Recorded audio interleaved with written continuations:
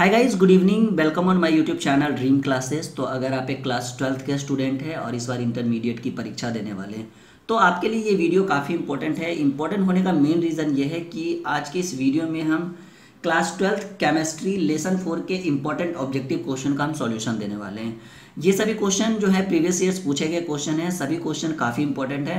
अगर इन सभी क्वेश्चन को, इन सभी ऑब्जेक्टिव को आप अपनी कॉपी में नोट करते हो तो और याद करते हो तो आने वाले बोर्ड के एग्ज़ाम में आपका जो एग्ज़ाम है वो काफ़ी इंपॉर्टेंट होने वाला है। काफ़ी अच्छा जाएगा आपका एग्ज़ाम और आई होप कि इन सभी क्वेश्चन को आप अपनी कॉपी में ज़रूर नोट करे नोट करोगे। और अगर अच्छा लगे तो नीचे लिखे लाइक बटन को क्लिक करके लाइक कर दीजिए। हमारे चैनल को सब्सक्राइब कर दीजिए। अगर आप हमारे चैनल पर पहली बार आए हैं नोटिफिकेशन का बेल दबा दीजिए, ताकि हमारी हर एक वीडियो का नोटिफिकेशन आपके फ़ोन पे जाता रहे। तो चलिए हम लोग स्टार्ट करते हैं।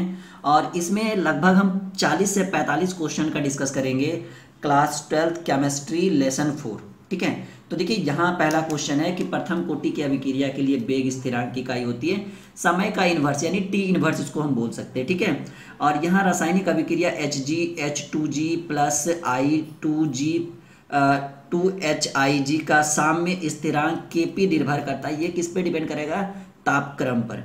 किसी रासायनिक अभिक्रिया में ढाल का मान खींचा जाता है। Log K plus I one by T के मध्य, यानी इन दोनों के बीच में, किसी रासायनिक अभिक्रिया के ढाल का मान खींचा जाता है इन दोनों के मध्य में। और अगला क्वेश्चन है, ओहो, चार नंबर फिर से देख लीजिएगा पाँच नंबर क्वेश्चन है सॉरी चार नंबर क्वेश्चन है, किसी रासायनिक अभिक्रिया का वेग प्रभावित होता है, वो क्या चीज़ से प्रभावित होता है? तो ताप से प्रभावित होगा।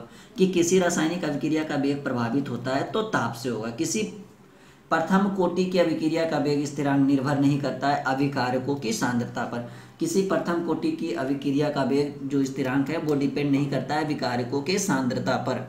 अभिक्रिया की संक्रियन ऊर्जा निर्धारित की जाती है दो विभिन्न दो विभिन्न तापों पर वेग स्थिरांक की गणना करके, ठीक है? और यहाँ अभिक्रिया H plus plus O H minus is equal to H two O है। वो किस टाइप की अभिक्रिया है? तीव्र अभिक्रिया है, ठीक है? और ये आठ नंबर क्वेश्चन है कि अभिक्रिया के पश्चात उत्प्रेरक की मात्रा जो है, वो अपरिवर्तित रहती है। जब कोई भी अभिक्रिया होती है तो उसके पश्चात उत्प्रेरक की जो मात्रा होती है, वो अपरिवर्तित रहती है, ठीक है? यानी उसमें कोई बदलाव नहीं होता है। किसी शून्य कोटि की अभिक्रिया की दर क्या होती है, वो हमेशा निश्चित होती है, ठीक है? किसी शून्य कोटि की अभिक्रिया की दर, वो हमेशा निश्चित होती है।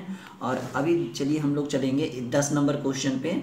और ये दस नंबर क्वेश्चन है हाँ दस नंबर क्वेश्चन है, एक रेडियो एक्टिव पदार्थ पदार्थ का विघटन स्थिरांक zero point five eight hour inverse है। तो इसका अर्ध आयु है पाँच दशमलव, अर्ध आयु काल five point two H R एक रेडियो एक्टिव पदार्थ की अर्ध आयु 40 दिन है तो औसत आयु संतावन दशमलव छः दिन। ये सब जो है ना, एकदम हाईलाइटेड क्वेश्चन है, याद ज़रूर रखिएगा। किसी रासायनिक अभिक्रिया में वेग निर्धारक पद होता है, वो क्या होता है? वो मंद होता है। और तेरह नंबर क्वेश्चन है, यदि वेग नियतांक की इकाई एम एस इनवर्स हो तो अभिक्रिया की कोटि, वो होती है शून्य होती है। और चौदह नंबर क्वेश्चन क्वेश्चन है कि उदासीनीकरण की क्रिया को पूर्ण होने में समय लगता है दस पर पावर माइनस दस सेकेंड, ठीक है? उदासीनीकरण की अभिक्रिया को पूर्ण होने में समय लगता है दस पर पावर माइनस दस सेकेंड। किसी रासायनिक अभिक्रिया का अधिकतम वेग होता है दस पर पावर माइनस बारह सेकेंड। ये सभी क्वेश्चन को ज़रूर आप अपनी कॉपी में नोट करिएगा, आगे आपको बहुत काम देगा। सोलह नंबर क्वेश्चन है कि उत्प्रेरक की उपस्थिति के कारण ऊर्जा अवरोध की ऊर्जा का मान क्या होता है? फिर से पढ़ते हैं, ये घटता है कैसे? उत्प्रेरक की उपस्थिति के कारण ऊर्जा अवरोध की ऊर्जा का मान घटता है। सत्रह नंबर क्वेश्चन है कि अभिक्रिया, जिसका वेग नियतांक दो दशमलव zero into ten to the power minus three second inverse है, इस अभिक्रिया की कोटि एक होती है, ठीक है? और ये अठारह नंबर क्वेश्चन है। प्रथम कोटि की अभिक्रिया में के का मान के की इकाई होती है सेकेंड इनवर्स यानी इसको हम लोग टी इनवर्स भी बोल सकते हैं, ठीक है? तो ये अट्ठारह क्वेश्चन हो गए। लगभग पैंतालीस क्वेश्चन को हम इस वीडियो में डील करेंगे, जो आपको लेसन फोर से पूछा जाएगा। और ये देखिए, उन्नीस नंबर क्वेश्चन जो आपका है, ये बहुत अच्छा क्वेश्चन है। हम आपको दिखाते हैं। ये है कि प्रथम कोटि के अभिक्रिया के लिए टी वटे वन वाई टू का मान होता है zero point six nine three by K और बीस नंबर क्वेश्चन है किसी अभिक्रिया में। दो ग्राम पदार्थ 24 घंटे में 0.5 ग्राम रह जाता है। उस पदार्थ की अर्ध आयु होगी 12 घंटे, ठीक है? 12 आवर्स और ये क्वेश्चन है, यदि thirty one by thirty two भाग पदार्थ का दो सौ दिनों में क्षय करता है तो थर्टी वन बटे थर्टी टू भाग पदार्थ का दो सौ दिनों में क्षय करता है तो इसकी अर्धायु चालीस दिन होती है। और इक्कीस हो गए, और ये बाईस नंबर क्वेश्चन है कि शून्य कोटि की अभिक्रिया के लिए बेग स्थिरांक की इकाई mole litre inverse second inverse होता है।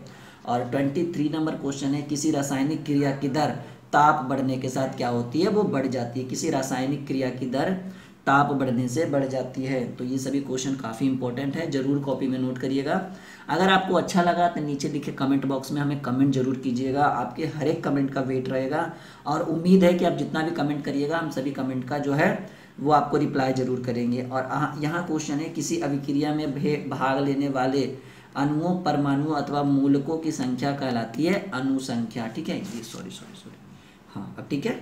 ये आपका क्या कहलाएगा? अनुसंख्या पच्चीस नंबर क्वेश्चन है कि दूसरे क्रम की अभिक्रिया में के की इकाई होती है second inverse mole inverse litre दूसरे क्रम की संख्या अभिक्रिया में के की इकाई होती है second inverse mole inverse litre ethyl acetate का जल अपघटन उदाहरण है प्रथम कोटि की अभिक्रिया का. एथिल एसिटेट का जल अपघटन उदाहरण है प्रथम कोटि की अभिक्रिया का. और ये लास्ट क्वेश्चन है आपका इस फिर हम लोग अभी और इसमें चलेंगे, अभी पैंतीस पैंतालीस क्वेश्चन डील करेंगे. एच टू तथा सी एल टू के संयोग से एच सी एल का बनना किस कोटि की रासायनिक अभिक्रिया? ये है आपका शून्य कोटि की रासायनिक अभिक्रिया। तो ट्वेंटी सेवन क्वेश्चन डील हो गए। अब हम लोग ट्वेंटी एट पे चलते हैं। ये देखिए ट्वेंटी एट नंबर क्वेश्चन है कि two H two plus O two is equal to two H two O के क्रिया में समय लगता है दस पर पावर माइनस दस सेकेंड इसको अपनी कॉपी में ज़रूर हाईलाइटेड करिएगा कि two H two plus O two is equal to two H two O की क्रिया में समय लगता है। Ten to the power minus ten second अभी क्रिया का वेग किस पर निर्भर करता है तो ये तो आपको नॉर्मल क्वेश्चन है, ये आपको पूछ भी सकता है, नहीं भी पूछ सकता है, क्योंकि हल्का क्वेश्चन है ये। ये ताप पर डिपेंड करता है। यदि समीकरण बेग ये देखिए, अगर इस टाइप का कंपेरिजन आ जाए, यदि समीकरण बेग के इंटू ए बी स्क्वायर में ए का सांद्रण स्थिर रखकर बी का सांद्रण तिगुना कर दिया जाए तो बेग क्या होता है? नौ गुना। जब इसका ये तिगुना होगा ना तो सिंपल सी बात है, यहाँ पर ए को स्थिर रखकर बी का मान यहाँ पे तीन रखेंगे तो तीन का स्क्वायर ये क्या हो जाएगा? नौ गुना हो जाएगा तो सांद्रण क्या हो जाएगा? नौ गुना हो जाएगा। प्रथम कोटि के अभिक्रिया के बेग स्थिरांक की इकाई वो तो पीछे भी बता दिए थे बाई चांस फिर से आ गया। टी इनवर्स या समय का इनवर्स। अभिक्रिया two A plus three B is equal to C plus two D के लिए अनुक्ता होगी, वो होती है पाँच होती है, ठीक है? Just wait. और ये thirty four thirty three question हो गए। A is equal to E के लिए पाया गया है कि अभिक्रिया की दर दुगनी हो जाती है, तब ए का सांद्रण चार गुना कर दिया जाता है। इस अभिक्रिया में ए की कोटि क्या होती है? दो होती है। थर्टी फोर नंबर क्वेश्चन है कि एक अभिक्रिया का बेग समीकरण है। एक अभिक्रिया का बेग समीकरण है। बेग है के इंटू ए का स्क्वायर इंटू बी स्क्वायर इस अभिक्रिया की कोटि क्या है? तीन होगी। और ये थर्टी फाइव नंबर क्वेश्चन है, कोई अभिक्रिया इकतीस मिनट में पचहत्तर प्रतिशत पूरी हो जाती है तो इसके पचास प्रतिशत पूरे होने में समय लगेगा 16 मिनट, ठीक है? अगर कोई अभी क्रिया इकतीस मिनट में पचहत्तर प्रतिशत पूरी हो जाती है तो इसके 50 प्रतिशत पूरा होने में समय लगेगा 16 मिनट।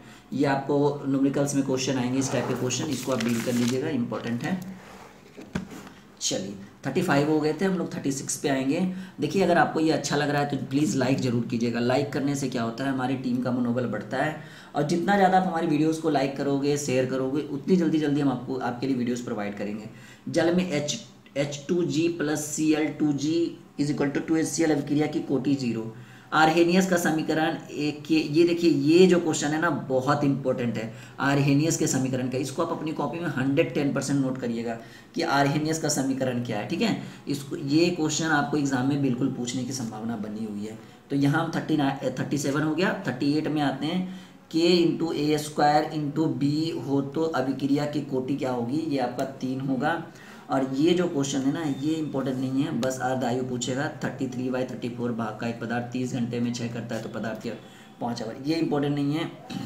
और इस, ये दो समीकरण है C S three C double O C two H five plus H two is equal to C S three C double O H plus C two H five O H की अभिक्रिया की अनुसंख्या क्या है? ये दो है। इसकी अनुसंख्या अगर इस, ये क्वेश्चन रहा तो इसका एक हो जाएगा। और ये किस टाइप की अभिक्रिया है? शून्य कोटि की अभिक्रिया है, ठीक है?